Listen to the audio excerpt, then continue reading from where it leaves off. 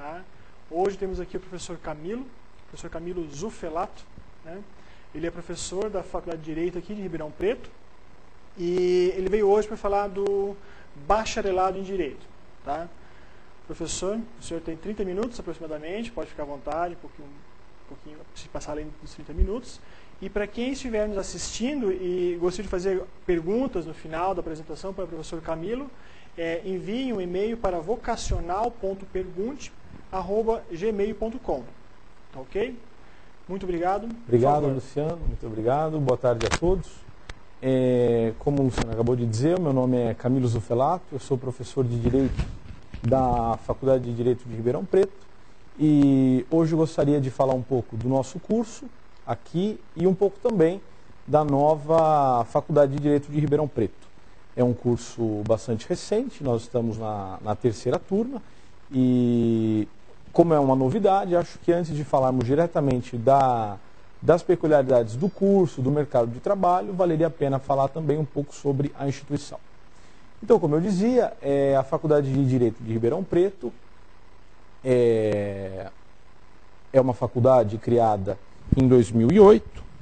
Nós temos a primeira turma iniciada em 2008 e hoje então estamos na terceira turma.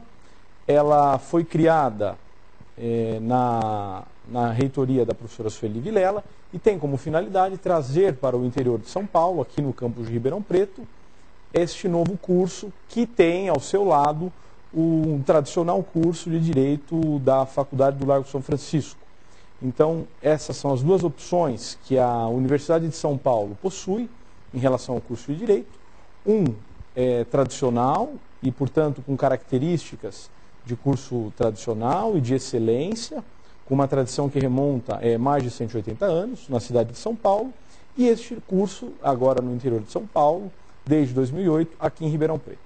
Então, durante a apresentação, eu vou tentar indicar para vocês quais são as diferenças que existem entre esses dois cursos, o de São Paulo e este de Ribeirão Preto, apontando então as peculiaridades e depois apontando as características do, é, dos nossos professores, dos nossos alunos aqui em Ribeirão Preto.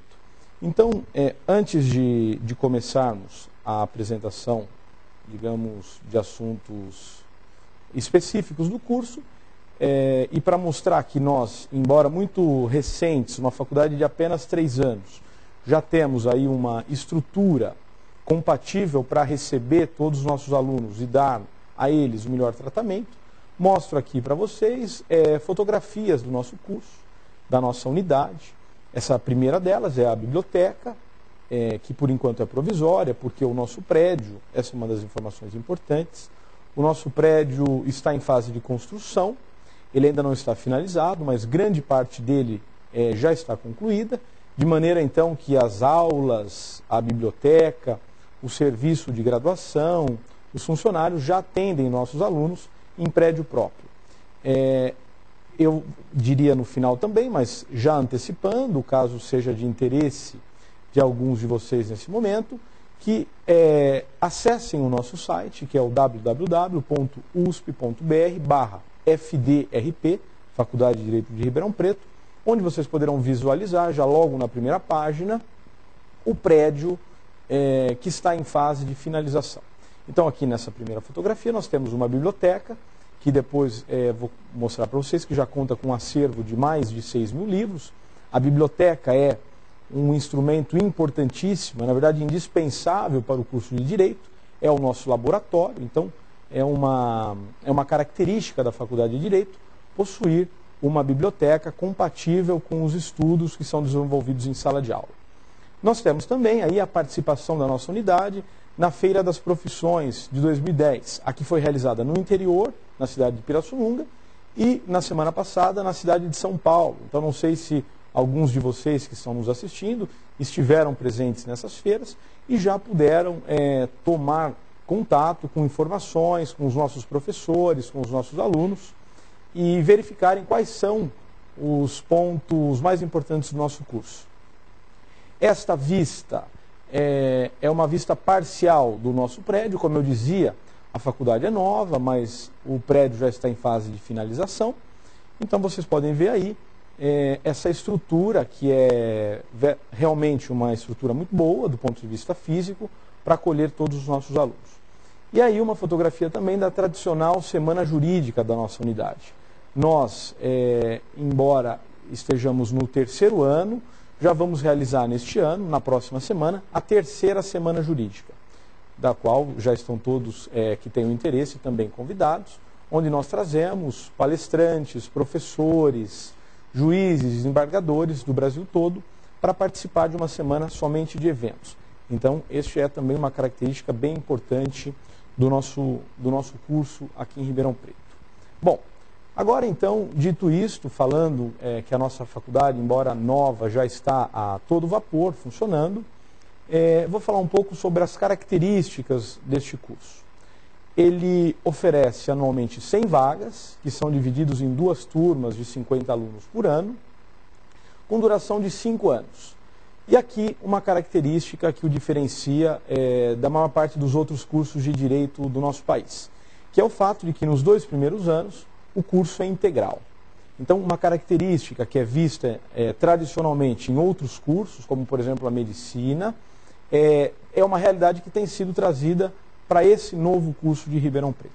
Então, durante os dois primeiros anos, os alunos é, em período integral assistem aula no período da manhã e no período da tarde, é, o que significa então que a carga horária deste curso de Direito de Ribeirão Preto é sensivelmente maior do que os outros cursos de Direito e inclusive o curso de Direito, o tradicional curso de Direito do Lago São Francisco. Então esta é uma peculiaridade do nosso curso e vocês vão ver na sequência que o fato de termos um curso integral nos dois primeiros anos permite é, que possamos fazer uma série de ter uma série de disciplinas que são é, inéditas nos cursos de direito. Então, esta é uma vantagem de ter um curso integral nos dois primeiros anos.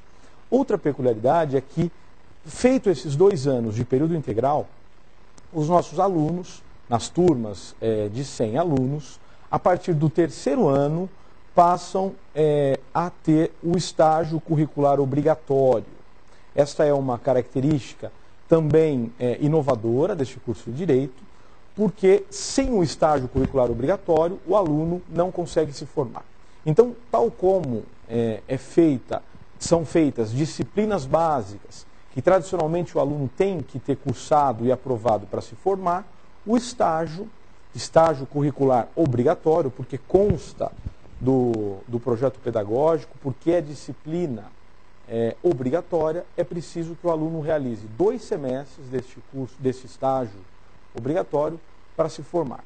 O que nós vemos, é, em geral, em outras faculdades de direito, é que o estágio, embora seja uma realidade é, feita, uma realidade que os alunos cursam estágio a partir do terceiro ano de faculdade, eles não têm a característica de serem obrigatórios. Este estágio da Faculdade de Ribeirão Preto, ele é obrigatório, porque nós o inserimos no projeto pedagógico, então é indispensável que o aluno faça estágio para se formar.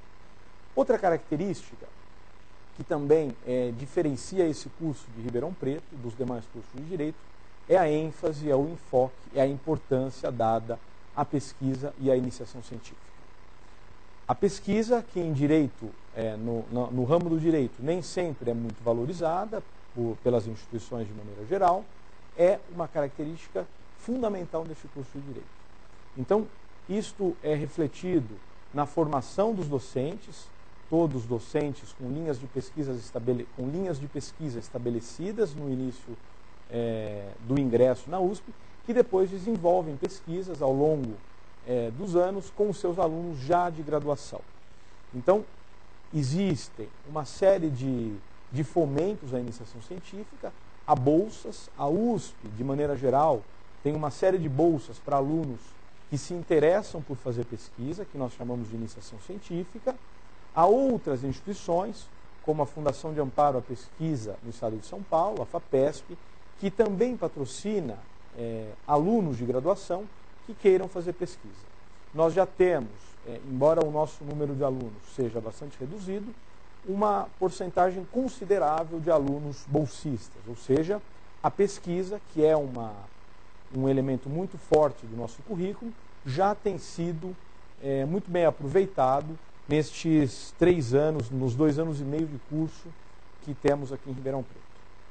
Bom, a partir do quarto e do quinto ano, é, feito então este primeiro momento de curso integral, onde se concentram as disciplinas consideradas fundamentais, que devem ser realizadas por todos os alunos, a partir do quarto e quinto ano, começam-se as especializações. Especializações ainda dentro da graduação, ou seja, o aluno consegue escolher disciplinas que dentro da USP são chamadas de optativas, que depois eu vou explicar mais na frente o que é, disciplinas optativas que ele consegue direcionar é, a sua formação de acordo com as disciplinas que mais lhe interessam já dentro da graduação. Então, dentro do nosso currículo, isso é montado para que nos dois últimos anos do curso, ou seja, quarto e quinto ano, o aluno de graduação da Faculdade de Direito de Ribeirão Preto elege, opta por fazer essas disciplinas que nós chamamos de disciplinas optativas.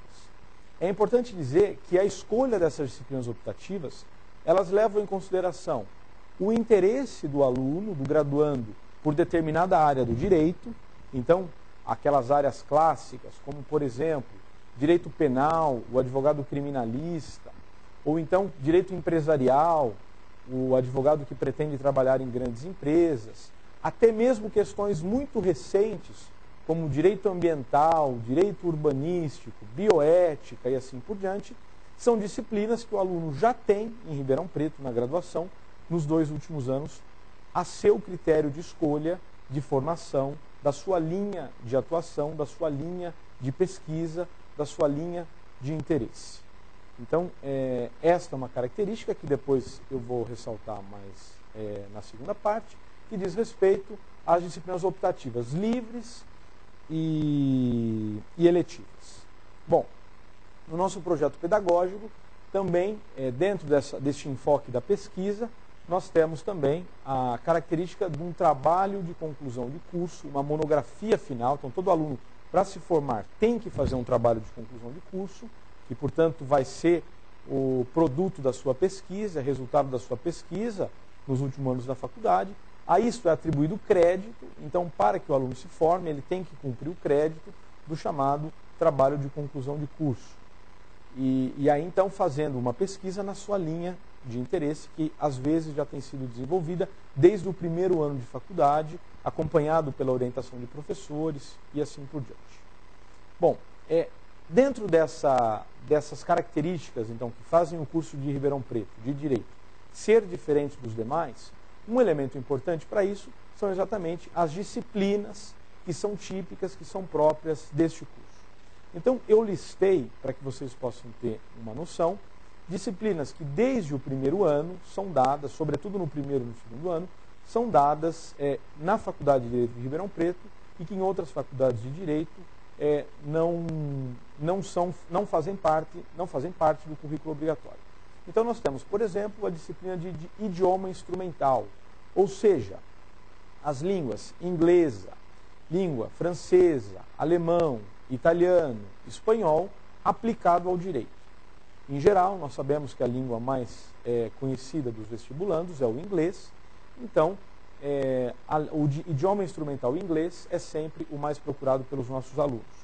Mas já desde o primeiro ano, os alunos já têm então contato, já têm é, aula no, com professores sobre idioma instrumental. Outras disciplinas também é, muito, muito interessantes e que não, não são comuns em outros cursos de direito são, por exemplo, direito comparado, ou seja, a comparação do direito brasileiro, de institutos do direito brasileiro, com institutos de outros países. Isso é muito interessante e tem um interesse também é, do ponto de vista de mercado, advocacia, etc., porque permite que o aluno, já na graduação, faça uma comparação entre é, sistemas jurídicos de um país e de outro. Temos também disciplinas até então é, pouco usadas no curso de Direito, mas que são fundamentais, que é a contabilidade para advogado, matemática para advogados e economia, micro e macroeconomia.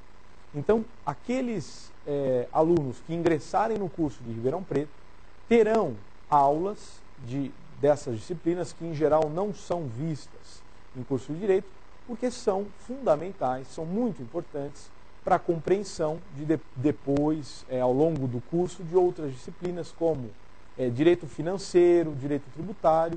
Então, é, ensinar essas disciplinas já no início do curso é também um diferencial desta nossa faculdade. E tem, como eu já dizia antes, as disciplinas optativas livres e eletivas. A diferença é que as, as disciplinas optativas eletivas, o aluno tem que cursar dentro da própria faculdade de Direito. São aquelas matérias de especialização que eu falava há pouco. Então, direito ambiental, direito é, de bioética, alguma outra questão relacionada a, a ponto de interesse do aluno, ele tem que cursar dentro da Faculdade de Direito de Ribeirão Preto. As outras disciplinas optativas são as chamadas livres, ou seja, o aluno pode, aqui no campus de Ribeirão Preto, aluno da Faculdade de Direito, cursar disciplinas em outras faculdades, em outras instituições, de acordo com o seu próprio interesse.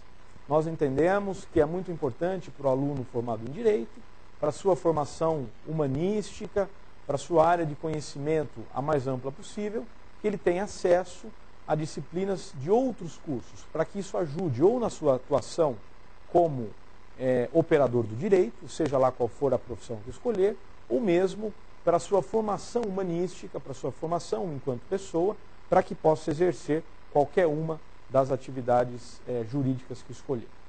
Bom, cinco anos, como eu disse, é o, curso, é o tempo de duração desta faculdade, desse, curso de bacharelado em Direito, e depois o aluno pode seguir é, algumas das várias opções que o direito oferece. Como você sabe, o direito é um dos cursos mais amplos do ponto de vista das profissões que o, que o formando, que o bacharel em direito pode fazer. Logo mais eu retomo dizendo quais são essas, esses cursos. Bom, quanto à infraestrutura, eu já mostrei algumas fotos para vocês. No próprio site, que eu deixei o endereço, tem embaixo aqui também da nossa, da nossa apresentação qual é o site da faculdade, vocês já vão poder verificar qual é, a que ponto está a nossa infraestrutura de biblioteca, de departamentos, de sala para o aluno, que são é, salas, eu listei ali também para falar, salas de apoio aos nossos alunos, estão com computadores, com acesso à internet, tudo isso é, para que possa fazer os seus trabalhos, para que possa estudar é, já que o curso é integral e o aluno fica, sobretudo nos dois primeiros anos, o tempo é, todo na nossa faculdade. Nós temos também o chamado Centro de Estudos, que é uma biblioteca mais é, mesas, cabines de estudos, salas de é, grupos de estudos ou então salas de estudo individual, tudo propiciando para o aluno é, a leitura dos livros, o estudo é, das matérias que são lecionadas em sala de aula. Bom, um assunto que talvez possa interessar vocês é o mercado de trabalho do bacharel em direito, do formado em direito. E aqui eu fiz uma divisão desse mercado de trabalho, que é muito amplo, como todos vocês sabem, é, em carreiras jurídicas e outras carreiras. A diferença dessa, dessa distinção é que as carreiras jurídicas têm que ser necessariamente exercidas por bacharel em direito. Então, todas essas atividades, o profissional tem que ser formado num curso de direito. As outras carreiras, é, não necessariamente, não é obrigatória a formação em direito, mas é muito importante. Então, vejam vocês, dentro de outras carreiras, a diplomacia, ou seja, aquele que quer ser diplomata, que quer ser representante do Brasil em outros países, do ponto de vista das relações diplomáticas que o Brasil é, tem com esses países, a formação em direito é muito importante. Não é indispensável, mas ajuda muito. Nós temos uma série de disciplinas, como direito internacional, que enfocam muito essa questão da diplomacia. As auditorias e as consultorias também são muito interessantes na área do direito, em matérias como, por exemplo, consultoria tributária, consultoria trabalhista, consultoria empresarial, é, quando envolvem questões é, de direito, questões jurídicas, a formação em direito é muito importante. Bom, as carreiras jurídicas, que são aquelas, como eu dizia, que obrigatoriamente quem as exerce tem que ser formado em direito, Nós temos uma série delas. Eu começaria então pela advocacia. Acho que vocês é, já devem ter se perguntado se aquele que é formado em direito é advogado. Na verdade, uma coisa é diferente da outra. O bacharel em direito é aquele que, depois dos cinco anos, se formou numa faculdade de direito. Para se tornar advogado, então, para exercer a advocacia, é indispensável a aprovação na prova da Ordem dos Advogados da OAB. A famosa prova da OAB é requisito indispensável para que aquele que é formado em direito, e é indispensável que seja formado em direito, possa exercer a advocacia. E dentro do exercício da advocacia, nós temos também uma série de opções é, a partir do interesse é, daquele que é formado, daquele que pretende ser advogado, em exercê-la. Nós temos, por exemplo, advocacia pública, ou seja, você vai ser um advogado defendendo interesses públicos, interesses do Estado, que é uma advocacia também muito importante, e nós temos também a advocacia privada, ou seja, você tem o seu escritório de advocacia, você tem, às vezes, um grupo de, de advogados que, em conjunto, tem um escritório de advocacia e atendem os particulares. Dentro dessas áreas da advocacia, da advocacia privada, sobretudo, nós temos uma infinidade de assuntos muito interessantes, muito atuais, que despertam o interesse de todos aqueles que querem fazer o curso de direito. Então, como eu dizia no começo, nós temos áreas como, por exemplo, a advocacia criminal, que é o advogado que cuidará de processos nos quais estão envolvidos é, crimes, nos quais estão envolvidos homicídio, roubo, furto e assim por diante. Nós temos a advocacia chamada empresarial, que cuida de todas as questões de uma, de uma empresa.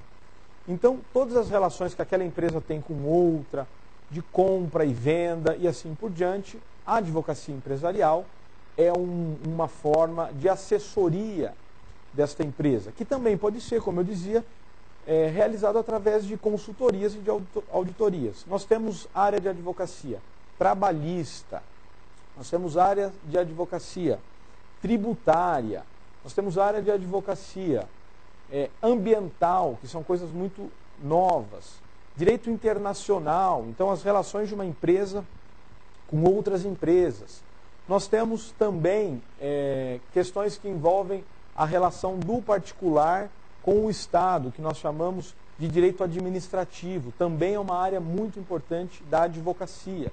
Então, todas essas possibilidades estão relacionadas com a advocacia, que é, é indispensável que o advogado seja formado em direito. As outras é, profissões listadas aqui nesta, nesta minha transparência de mercado de trabalho, a maior parte delas dizem respeito a concursos públicos. Por quê? Porque são profissões que o formado em direito pode exercer, mas desde que seja aprovado em concurso público. Então, o concurso público, que é também uma das questões muito buscadas por todas as pessoas que estão hoje no mercado de trabalho, é importante dizer que o curso de direito tem uma ênfase, tem uma, uma formação muito boa, muito rica para quem quer concurso público. Então, dentre esses concursos públicos, nós temos o da Defensoria Pública. Que, o que é a Defensoria Pública? É uma instituição que basicamente cuida dos interesses de quem não pode pagar advogado. Então, para aqueles é, que não têm condições de contratar um advogado particular, o defensor público é aquele que faz a defesa desses necessitados. Nós temos também as procuradorias. Como eu dizia antes, a advocacia, que eu listei como ali a, uma das primeiras carreiras, ela pode ser exercida no âmbito privado e no âmbito público. Então, o advogado que defende interesses do Estado, do município, de uma cidade qualquer que seja, do Estado, como o Estado de São Paulo, ou da União, esses é, advogados públicos, em geral, são chamados de procuradores. Então, as procuradorias, que há uma série delas é, no, nosso, no nosso país, elas estão relacionadas, então, com a defesa do Estado. Há concurso para isso, o, o formado em direito tem que prestar, tem que ser aprovado no concurso, e depois, então, se transforma em procurador de qualquer uma dessas instituições públicas. Outra área de trabalho também que vem ganhando muito espaço hoje em dia, formada pelos formados em direito, é a docência e a pesquisa. Então, como eu dizia antes, é, para ser professor de direito é muito importante que seja formado em direito. Então, e também a área de pesquisa, nós temos hoje uma série de linhas de pesquisa, de fomento que é, contribuem com dinheiro para pesquisa para quem é formado em direito. Então é uma linha nova, mas muito importante. Depois nós temos ali três profissões clássicas, tradicionais, muito famosas de quem é formado em direito, que é a magistratura, o Ministério Público e o delegado de polícia.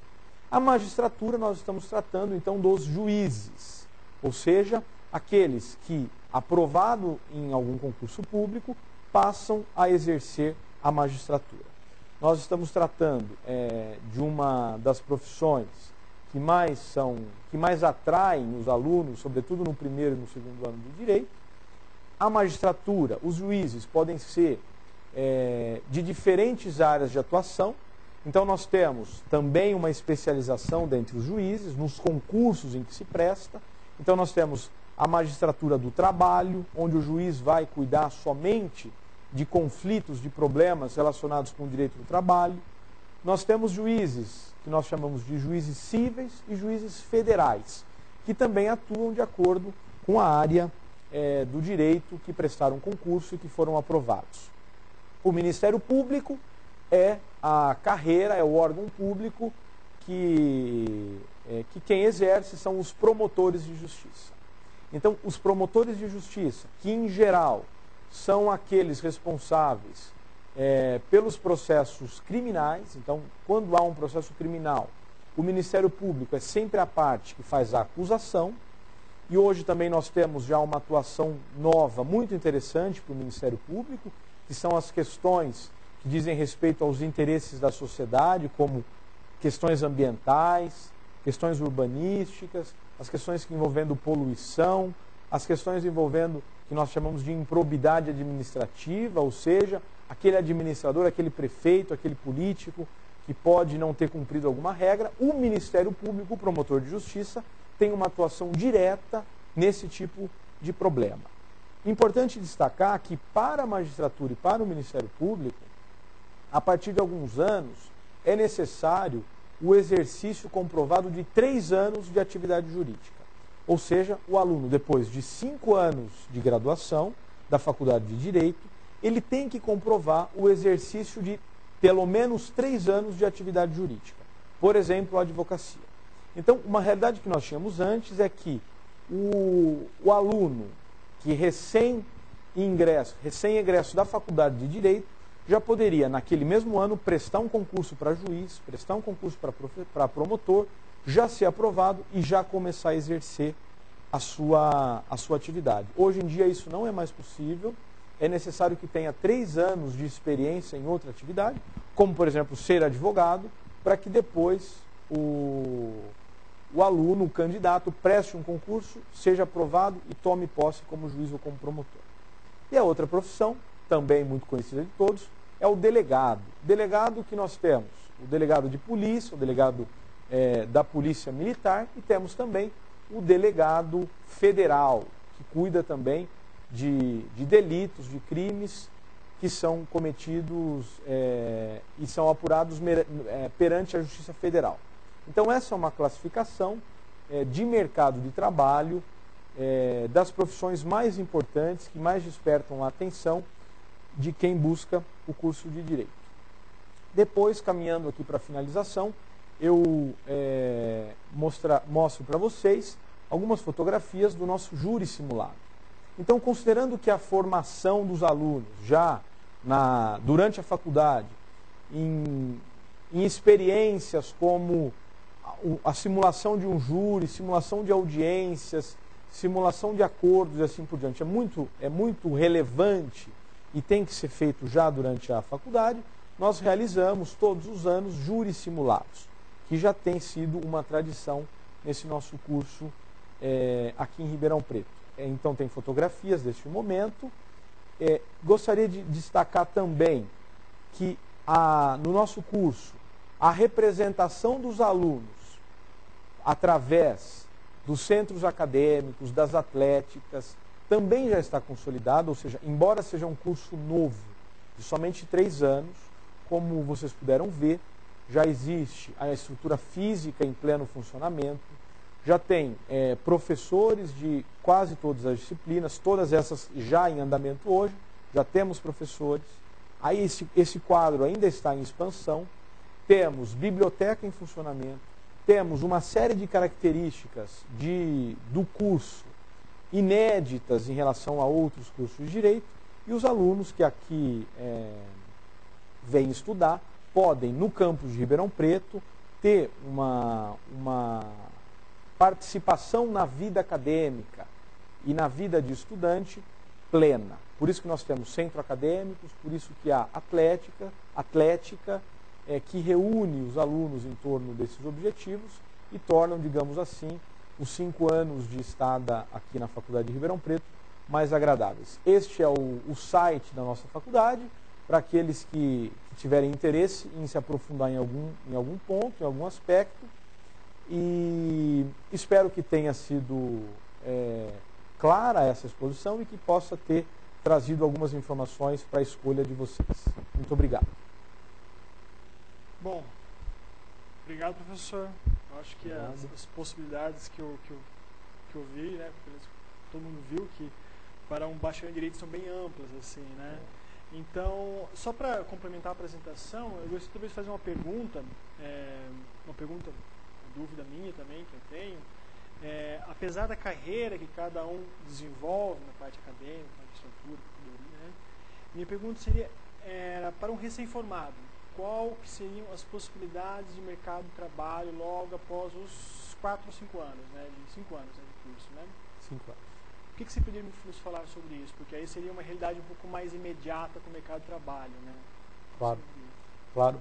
É, eu acho que a, a, primeira questão importante do mercado de trabalho é a identificação do... Como há muitas possibilidades o curso de Direito, uma das características mais importantes nesse momento de recém-formado é a identificação daquilo que você de fato quer exercer. Porque hoje nós sabemos que os concursos públicos são muito procurados. Então, para quem já, já identifica que quer prestar concurso para ser juiz, para ser promotor, o que eu recomendo é que a, a melhor estratégia para se conseguir isso da forma mais rápida possível é o estudo. Então nós temos, depois da, é, de, dos cinco anos de faculdade, a necessidade, porque os concursos estão cada vez mais concorridos e mais difíceis, que o aluno se concentre o máximo possível do tempo nos estudos. Como eu disse, é indispensável os três anos de prática. Então, ele tem sim que exercer uma dessas atividades, mas de forma muito dosada, porque ele tem que concentrar grande parte do seu tempo nos estudos. Três anos, três anos e meio é uma média que se tem levado hoje para ingressar num concurso.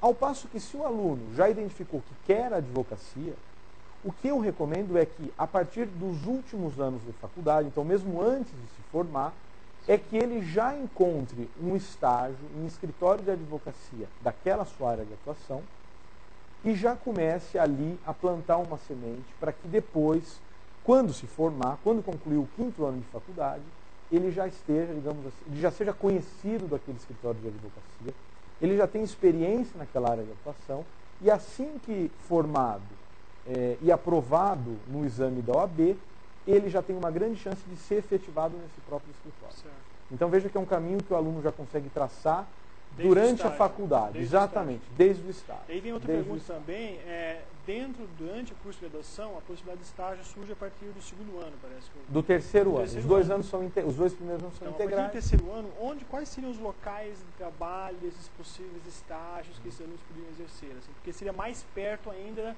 da realidade dos futuros claro. aí. Não, essa pergunta é muito importante porque quando eu dizia que o nosso estágio curricular é obrigatório, é, isso significa que a Faculdade de Direito de Ribeirão Preto tem que oferecer estágio para os seus alunos.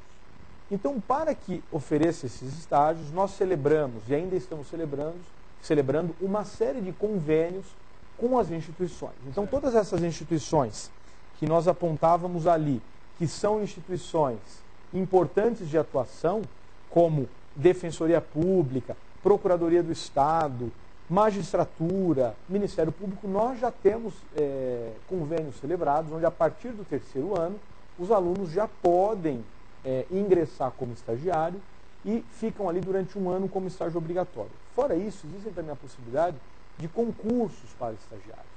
Então, concursos remunerados, que o aluno, se houver interesse naquela instituição, pode prestar e, se aprovado, já, já automaticamente passa a re receber alguma coisa durante a graduação. Ao lado disso, nós temos também muito interesse da parte dos escritórios de advocacia em Ribeirão Preto em receber os nossos alunos aqui da USP. Então já temos uma receptividade muito grande dizer, dos é escritórios possível, de advocacia. É possível fazer um estágio mesmo sem o convênio, então, né? Talvez. Nos escritórios, sim, isso é possível. O que não é possível é que este estágio sem o convênio, ele seja considerado como obrigatório. Mas como o estágio é só de um ano obrigatório, o aluno depois tem mais dois anos, ele pode estagiar onde quiser. Inclusive é bom que estagie em lugares diferentes para que possa ter mais opções de escolha quando quiser identificar a sua carreira. Não, o legal disso eu acho justamente porque é, é, um curso que permite trabalhar. Porque quando você entra num curso, numa graduação, não vou dar exemplos, mas em que o aluno sempre quer, mas em que momento que eu vou trabalhar nessa minha suposta profissão? E acho que a melhor maneira seria trabalhar nesses estágios. Exatamente. E aí, para finalizar, uma, uma, última pergunta é, é, se o senhor poderia dar um, um, alguma faixa salarial para um recém-formado. Então, porque a gente não pode imaginar um cara que tem uma carreira em docência, pesquisa, procurador de justiça, né? Então, para um recém-formado, você poderia fornecer uma faixa, uma possível faixa salarial para esse? Ok. Bom, é, existe uma, uma variedade muito grande de faixa salarial dentro dessa, do mercado de trabalho do direito, por conta mesmo da, da, da diversidade de, de profissões que nós temos para o bacharel. Mas a gente poderia dizer que na advocacia, um salário inicial de quem é recém-formado e começa a, a trabalhar num escritório poderia girar, gerar, girar aqui em torno de 2.000, R$ 2.500. Valor esse que vai subindo de acordo com, com, a experiência e com o plano de carreira que um escritório tem para aquele, aquele advogado ou não. A magistratura, por exemplo, já é uma realidade muito diferente. Então nós temos salários iniciais, líquidos na, na magistratura, a partir de aproximadamente 16, 17 mil reais, às vezes até 20 mil reais inicial. Depois, claro, que isso não vai aumentar muito ao longo da carreira, como pode aumentar com um advogado, depois um certo. advogado mais experiente pode ganhar muito mais do que isso, mas inicial, magistratura, Ministério Público, nós teríamos uma faixa de 16, 17 mil reais okay. como inicial. Muito bom. Agradeço bom. mais uma vez pela apresentação. E para quem estiver nos ouvindo, quem quiser fazer mais alguma pergunta, professor Camilo, é, por favor envie um e-mail para vocacional.pergunte.gmail.com. Obrigado.